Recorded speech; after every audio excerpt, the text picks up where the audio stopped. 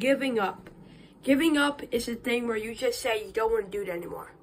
Giving up is something that you're quitting, but you've worked so hard, but it seems like the hard work you put into it has yet to pay off, and you just want to quit because what's the bother?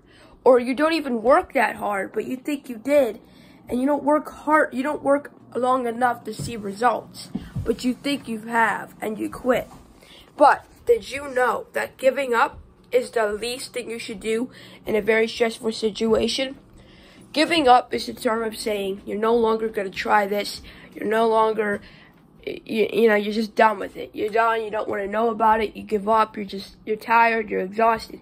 And I get that.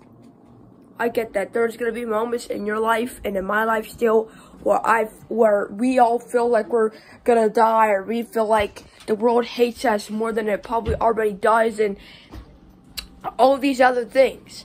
But then that comes into our mind, if we don't give up, that, that there is light at the end of the tunnel. We may not see the light at the end of the tunnel. That's because we're not letting ourselves see the light at the end of the tunnel. If we were just open up our eyes and see that the world is sometimes a good place, then we would see that there is a good place that you could possibly be at for the rest of your life and that means you could open up the light to a new normal and to a new brightness as long as you work hard for it. Because if you think the most successful people have times in their life where they feel like they had to give up, but they kept pushing forward, and that's what matters. Because if you gave up now, you wouldn't see your dream come true you wouldn't see the best thing happen to you. You can't give up in order to, you can't give up and expect to see some good results because giving up means you give up and there's going to be no good results at all.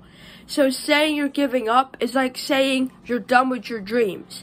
And here's the thing, once you say you're done with your dreams, you can never go back.